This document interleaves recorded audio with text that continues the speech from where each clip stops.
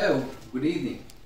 So here I am after my Thai vacation where I sneak peeked into the Thai authentic kitchen and found out the secret recipe of the authentic Tom Yam Kung.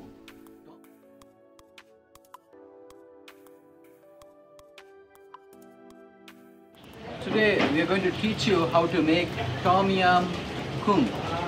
Tom Yam Kung with coconut milk. That is prawns and coconut milk. Come on. And this is the authentic kitchen of uh, Thai. So first, this is what? What? Water? Uh, tomato, onion.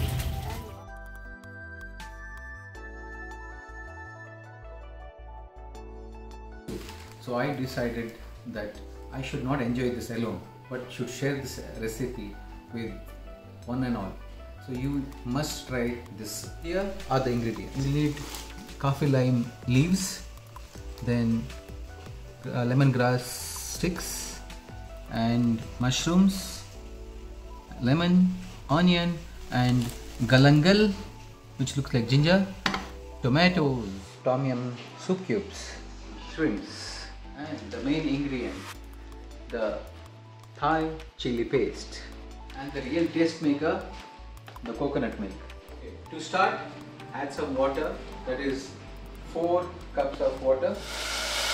There we go.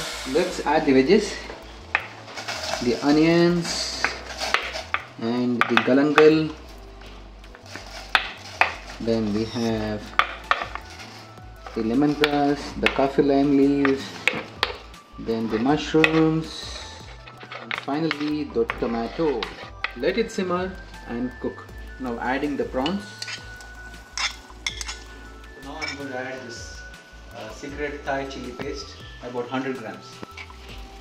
Now let's add 2 cubes of tom yum soup cubes. Now squeeze some lemon into it. If you want a more spicy, you can add this uh, Sri Racha sauce. Now add the coconut milk.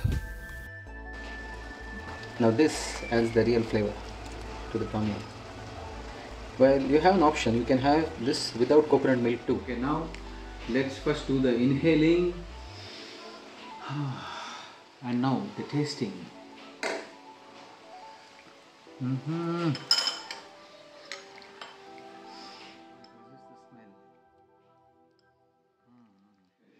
So this spicy soup with uh, lemongrass and uh, a tangy taste will really leave you with no option but just go ahead and try.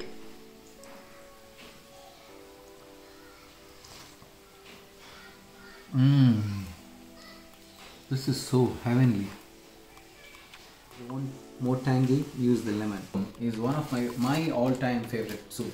So I decided that I should not enjoy this alone, but should share this recipe with one and all.